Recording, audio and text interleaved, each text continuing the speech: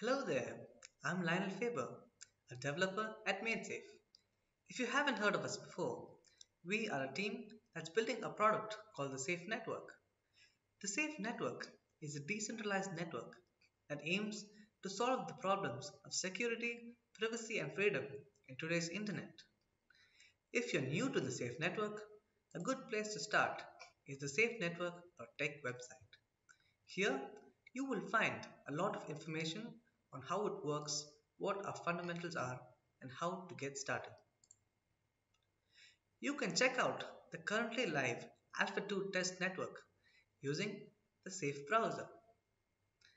This video will help you get started. Recently, we have announced the support for native Android application development using Java or Kotlin. A massive number of mobile devices are being used in the world today and more and more applications are being built every day. So this is a huge step forward for us. This release includes two packages, a Safe App Android and a Safe App Android Dev package. The documentation for the APIs exposed by these libraries are available on docs.maidsafe.net slash safeappjava. This release also includes a tutorial application that demonstrates the basic concepts of authentication, mock and non-mock networks, and basic operations on mutable data. In order to find out more about authentication, the types of networks available, and the data types, you can visit hub.safedev.org.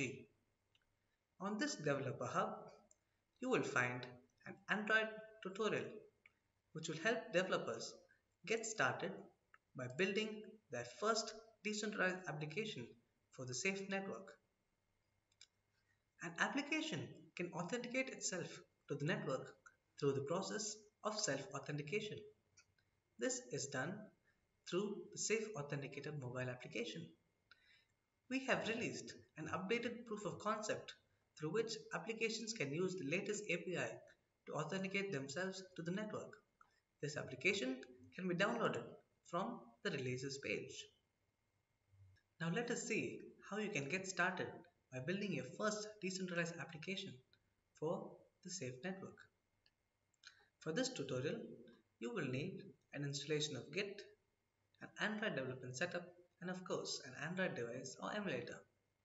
The Safe App Android packages only support devices with API 24 and above and ARM ABI v7a or x86 underscore 64 support. For the purpose of this tutorial, we have provided a boilerplate code into which we will be adding safe logic for our application. Let's get started by cloning the safe getting started Android repository. We can now check out to the boilerplate branch.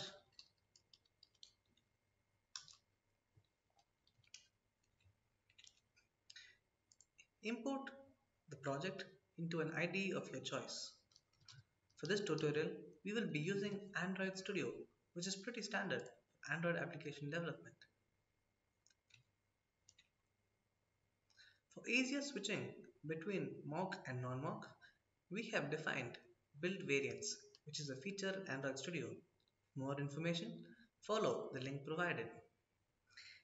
In our project, we have defined the dependencies such that the mock version will use the SafeApp Android dev package and the non-mock version will use the SafeApp Android package. This is to facilitate easy switching between mock and non-mock flavors. As mentioned before, the API documentation is available to reference any of the functions that are exposed by the libraries. Let's get started with authentication. In order to authenticate, we have to generate an authentication request. For this purpose, we will need an instance of app, app exchange info, and a list of container permissions. In this application, we will not need any additional container permissions, hence we will pass an empty array. In order to find out more information about the different containers available, you can follow the Discover page.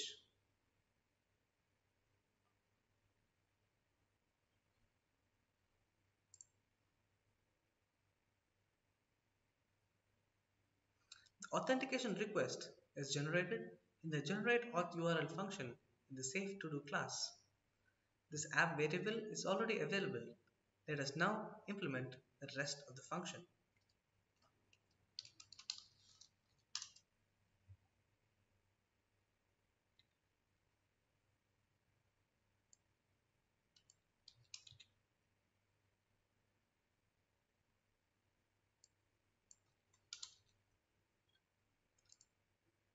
It is important to import the required packages.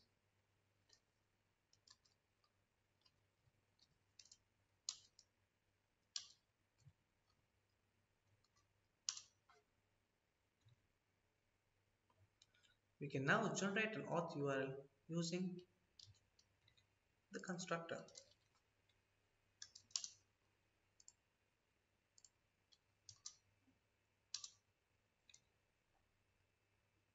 Before calling any of the APIs, we should first load the native libraries in the memory.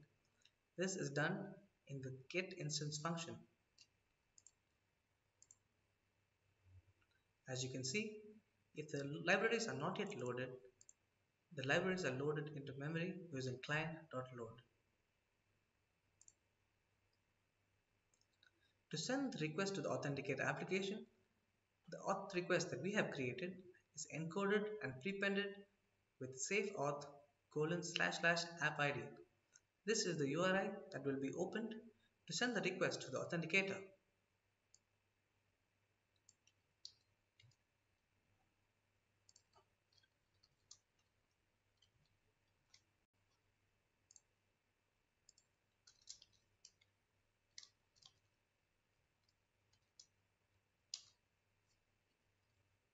At any point in the tutorial, you can refer the function definitions in the Safe Getting Started Android repositories master branch.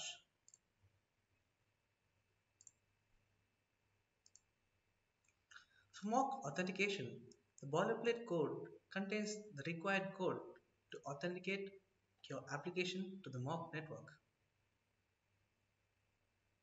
Once we have authenticated, we can get the response that comes in the form app id colon slash slash app id and the encoded auth response. We can strip out the app IDs and use this encoded auth response to establish a connection to the safe network. Let us implement the connect function that is available in the safe API class.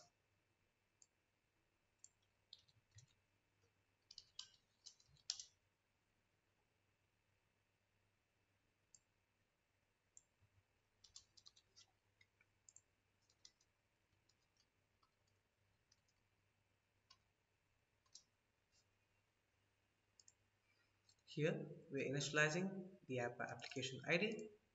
We are decoding the encoded response from the authenticator and we are making sure that this is an authentication response. After casting the decode result object to an auth response object, we can call the client.connect API to establish a connection to the network. Congratulations, your application is now connected to the safe network.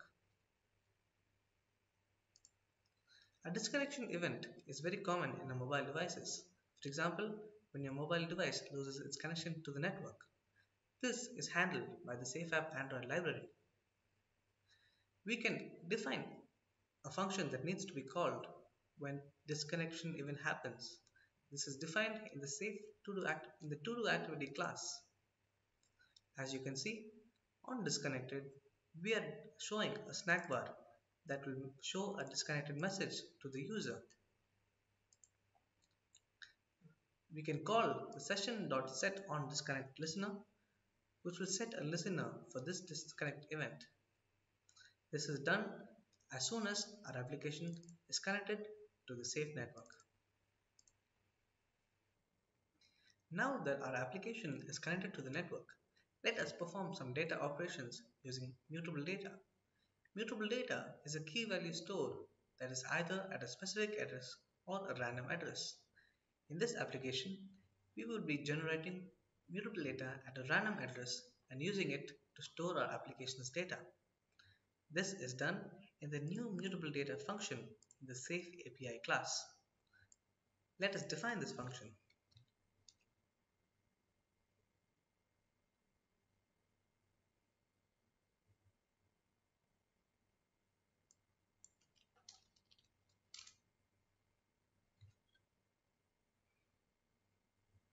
In our application, we will be storing instances of task and to-do list as values in the mutable data. The key value pairs in mutable data are byte arrays. Our boilerplate code has the provision of serializing and deserializing these objects to be stored into the mutable data. In the code, we will be using instances of native handle in a number of places. A native handle is a pointer to complex objects in native code. The Safe App Android libraries have native code that are written in Rust. Since we have randomly generated mutable data, this mutable data does not exactly exist on the network. Hence, we must put the mutable data to the network with a list of permissions and an initial list of entries. This can be done using the mdata.put API. In our application, we are inserting a set of permissions for the application using its public sign key and without any initial entries. This can be done using the md entries empty constant. This initial put operation is done in the insert permissions function in the Safe API class.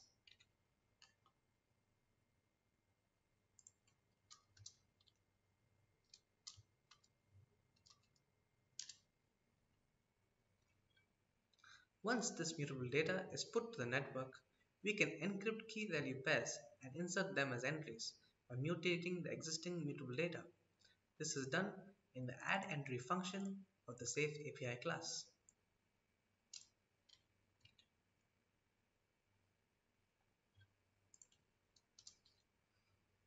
As you can see, we are encrypting the entry key, the value, inserting key value encrypted key value pair into an action handle and mutating the mutable data in the network.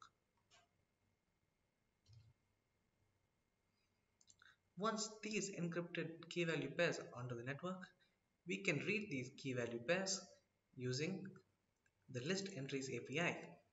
This is done in the get entries function of the Safe API class.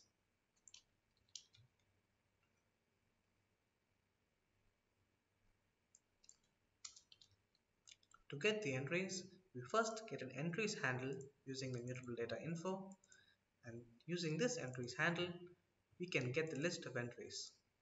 This list of entries is a list of m data entry.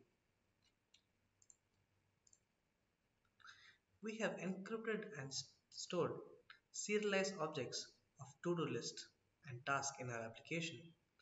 So once we get the list of entries, we can iterate through them, decrypt them, and deserialize them into a to-do list object. This deserialization function is available in the boilerplate code.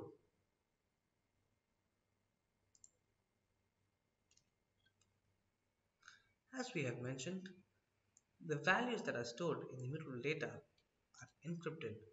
In order to decrypt these values, we will use the mdata.decrypt API.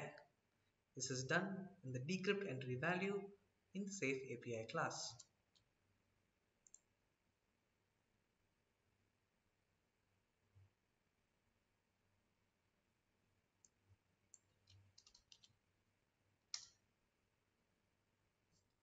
Now that we can insert and read entries from the mutable data, let's see how we can update them. Every entry in the mutable data has a numeric value associated with it. This is a mutable data entry version. Every time an update operation is applied to the entry, the numeric version is incremented by 1. This is to ensure that only one mutation is applied when there are multiple requests. Updating a mutable data entry is done in the update entry function of the Safe API class.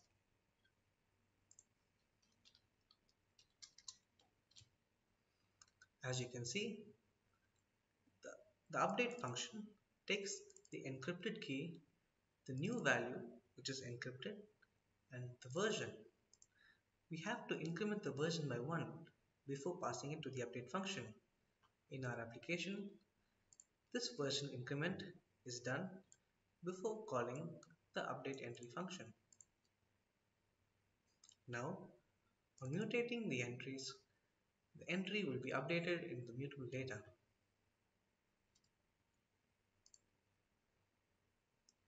To delete an entry in the mutable data, it, the entry isn't exactly deleted, but the value section of the mutable data entry becomes blank and the numeric version is incremented by 1. So technically, it's just an update operation where the newly new value is blank. That's why in our implementation of the application, we are filtering blank entries using a condition before we decrypt and deserialize the value in the mutable data entry. This delete operation is done in the delete entry function in the Safe API class.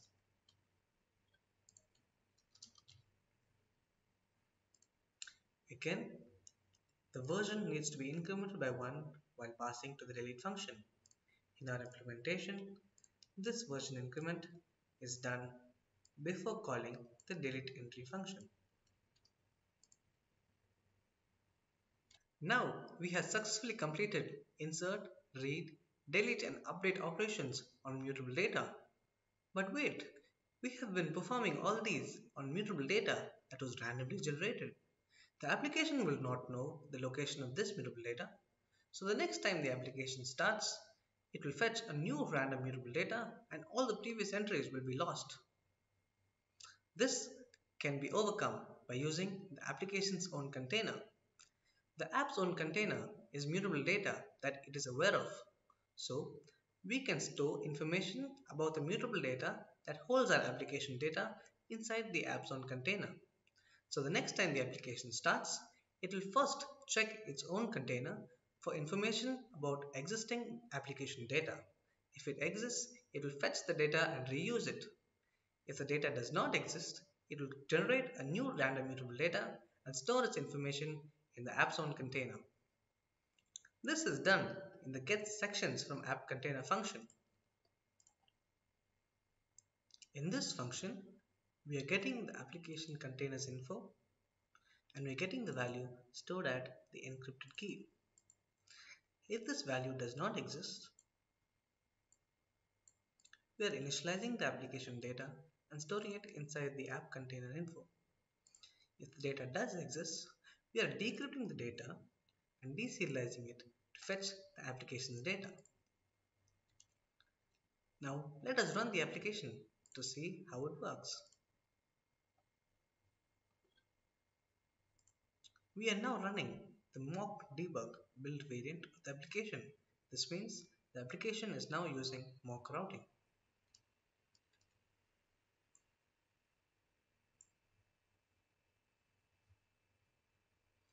While creating an Android emulator for development, please make sure that the emulator is x86 underscore 64. The SafeApp Android package does not support Android emulators with x86 architecture.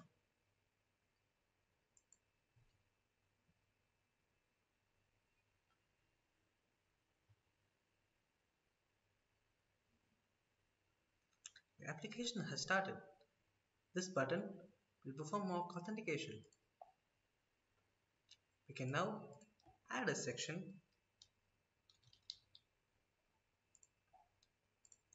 and add entries to the list.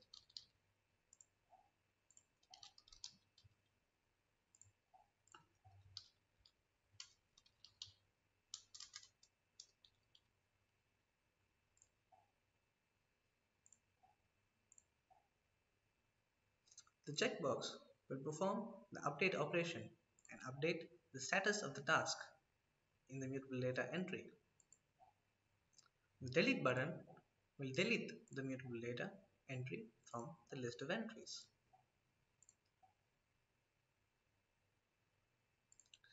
In the mock version of the network, there is an API that will allow you to mock a disconnection event. This simulate disconnection option will trigger the disconnection event and we, are, we can now see the snack bar that we have coded to the application. We cannot perform any operations while we are disconnected from the network. The reconnect button will call the reconnect API and re-establish the application's connection to the network. If you have made it this far, congratulations! You have built your first native Android application for the SAFE network. In order to move from mock routing to the Alpha 2 test network, you will need to authenticate using the Safe Authenticator mobile Android application. This can be downloaded from the Safe Authenticator mobile repositories releases page. You can install this application by dragging and dropping the APK into your Android emulator.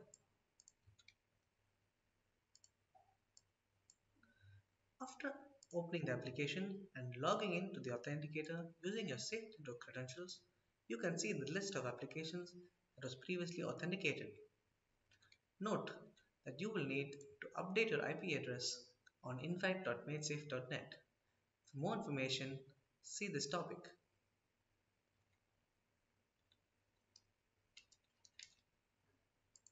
We can now change the build variant of the application to non-mock.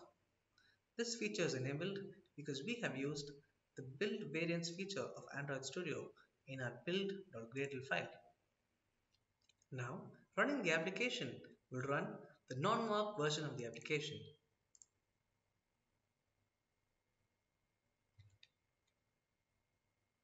Clicking the Authenticate button will redirect us to the Safe Authenticator where we can either allow or deny the application's auth request. This is done through the Safe Auth protocol. After authorization, the authenticator redirects the user to the to-do application through a URI of the following format. This URI is registered as an intent filter in the application's manifest file. Any URI with the following scheme, when opened, will launch the application with the URI as intent data. The following code will fetch the data and establish the connection to the network.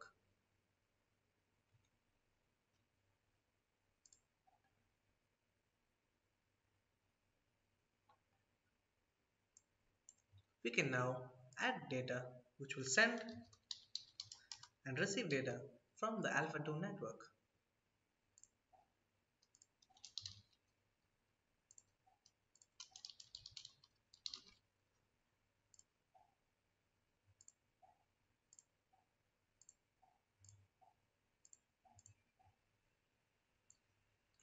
Congratulations! Your application now sends and receives data from the Alpha 2 network. I hope this tutorial has been helpful for building your first native Android application for SAFE. If you have any questions regarding the SAFE network, head over to the SAFE network forum at safenetforum.org. We have a wild community who's always ready to help you. For any of your development related questions, head over to forum.safedev.org. Thank you for watching and happy development!